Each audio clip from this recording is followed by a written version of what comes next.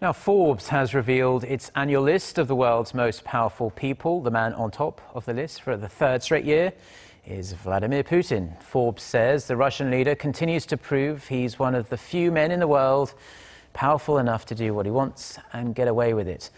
German Chancellor Angela Merkel, as you can see, is second. She beat out US President Barack Obama, who came in third. And it marks the first time a sitting US president has not been in the top two, in fact.